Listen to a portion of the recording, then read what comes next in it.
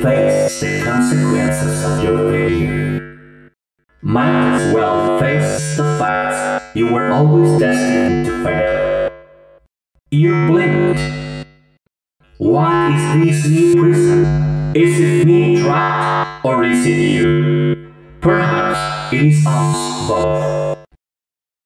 I may be missing my face, but even I could see his tongue.